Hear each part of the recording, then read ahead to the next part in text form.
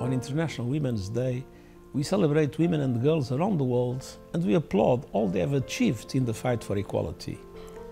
Women and girls have made great gains, demolishing barriers, dismantling stereotypes, and driving progress towards a more just and equal world.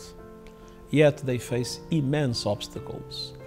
Billions of women and girls face marginalization, injustice, and discrimination, while the persistent epidemic of violence against women disgraces humanity. Our world still reflects millennia of male dominated power relations, and progress is under attack with a fierce backlash against women's rights. At our current rate, legal equality is some 300 years away. We must move much faster. On International Women's Day, we stand with women and girls fighting for their rights and we commit to accelerating progress. This year's theme, Invest in Women, reminds us that ending the patriarchy requires money on the table.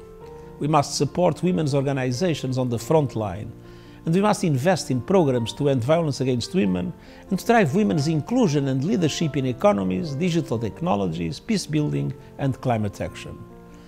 This all depends on unlocking finance for sustainable development so that countries have funds available to invest in women and girls.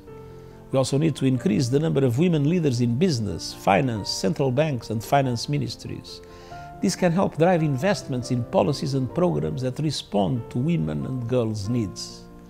Women's rights are a proven path to fair, peaceful, prosperous societies.